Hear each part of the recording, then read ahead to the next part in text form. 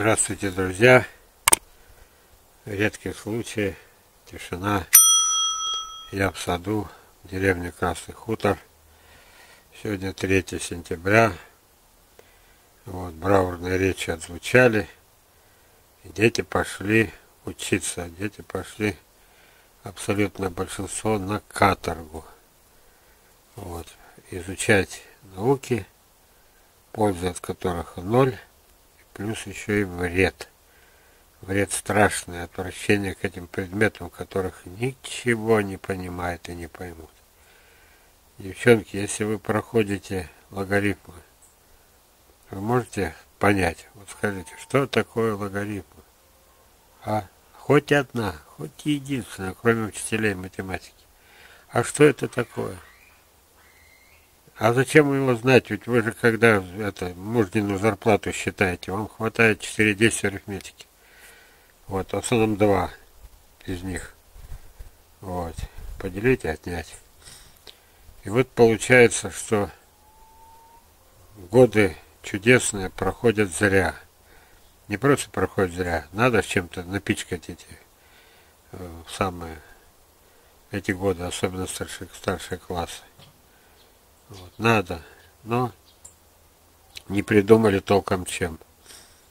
Когда-то появился 11 класс. Я его не застал. У нас была десятилетка. Мне охватило с головой. Я когда поступал в Москве, я провалил лучшего страны. Я не смог сдать. Не потому что я дурак, потому что я только дум, долго думаю. Вот. Я потом додумаю, но поздно. Вот. И черта характера. Это значит, такие как я, от всего-то два часа. Вот. Такие как я, надо это. Такие не проходят лучшие вузы. Вот. Красноярский институт святых металлов я не просто сдал. Я, там рядом сидел справа парень. Я ему решил задачи и прочее. Слева сидела девушка. Ей решил, сзади за мной. Помоги, помоги, решил. Спереди помоги, решил. И все пятеро мы поступили благодаря мне одному. Вот. Там для меня это было настолько просто. Ну, ну а далее эти пять лет в институте тоже большинство не, не, не, пригодилось. Дальше было. Я говорю о том, что жизненное, то, что не потеряла и сейчас, то, что называется актуальности, не потеряла. Поэтому где-то когда-то и когда я добьюсь успеха в основной моей профессии, это несколько мировых открытий. Вот. И когда это будет признано, и когда мое слово будет что-то знать, значит, начнут изучать вот даже вот такие вещи. Ага. А Железов говорит, что толком нигде никогда не проходили производственную практику. Первое. Я металлург. Это про учебу. Это 1 сентября не только школьники поступили. Вот а еще и вузы и прочие техникумы. Вот. Я, я сейчас поговорю то, что серьезные вещи, которые, по-моему, не потеряли значение. Я приезжаю с Красноярска в Норильск, родной мой город, вот, проходить производственную практику на медный завод.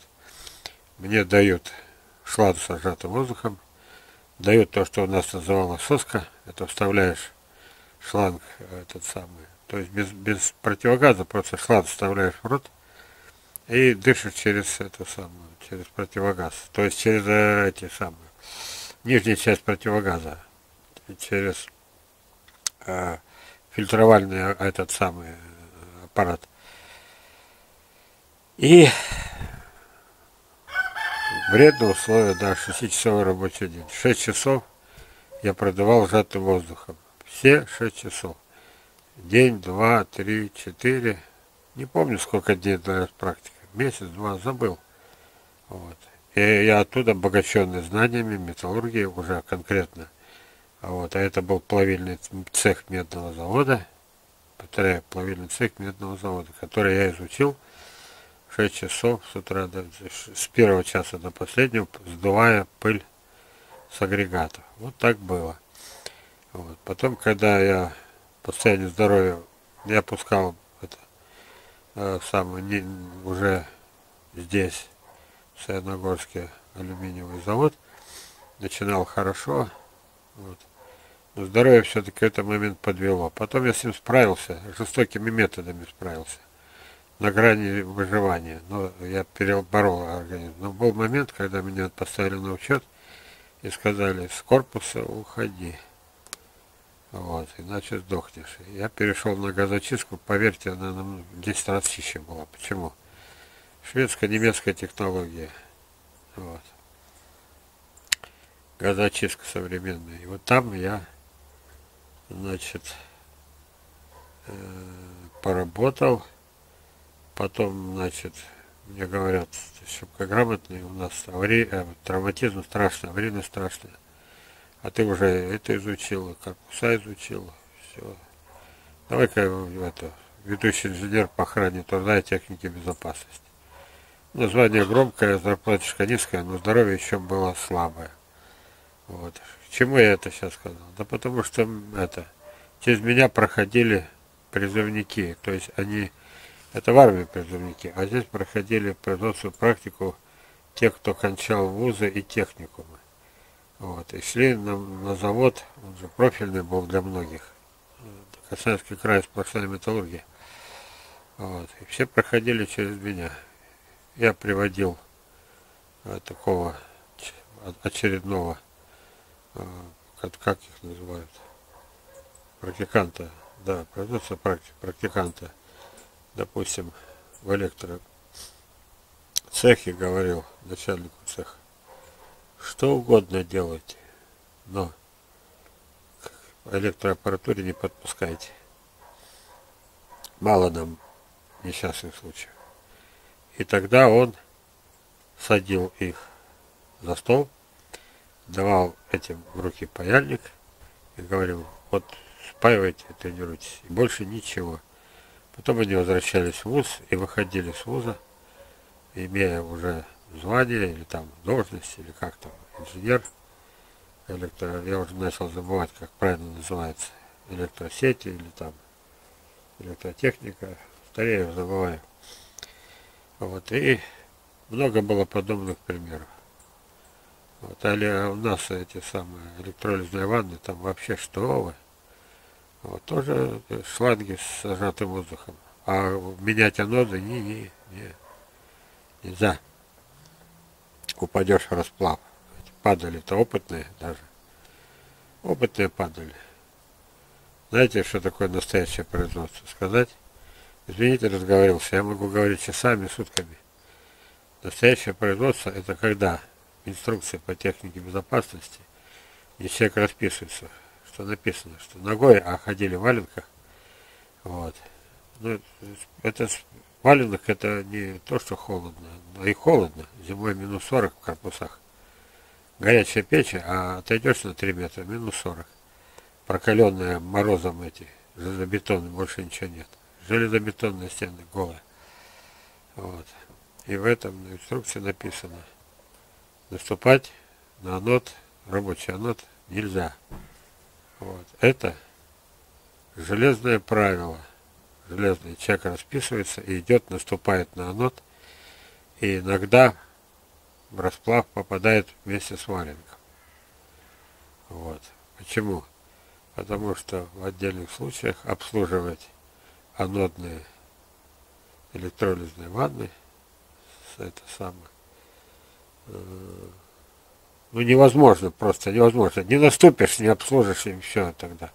Это вообще, то есть без этого, без наступления на обожженный анод, без наступания, валенком обслужить невозможно. Почему? В руках тяжелейший лом, вот, магнитное поле такое, что невероятное. Этот лом кажется тяжелее, чем это двухпудовая гиря, когда его таскаешь. Вот. Если ты не упрешься ногой в ванну, об, это, об анод, значит ты ничего не сделаешь. Обопрешься, шанс упасть есть. Вот это противоречие было всегда. Вот. Это была подлая вещь, но практике необходимая. Ну, за это же зарплату платили. Всяко бывало. Вот. Вот такая у нас жизнь. А сейчас я хочу, может быть, это будет вторая серия. Вот. Я просто э, анонс. То есть преамбула такая, такая. Значит, сейчас наступило такое время, когда Потом когда-то его признают, что, в общем-то, на всех уровнях жизни, вот, на уровне семьи, муниципалитетов местных, вот, областных, республиканских, в стране, что-то делалось все не так. Я не о политике, нет. Вот. От нас никто не спрашивает. Вот. Никто не спрашивает. Но начало прилетать. Перелетать через нашу границу. Уже жертвы, разрушения. Вот. А за этим всегда следует э, необходимость как-то быть готовым к этому. Кто из нас, обывателей, может похвастаться, что он не то, что там спецназовец по этому, который выкрутится из любой ситуации.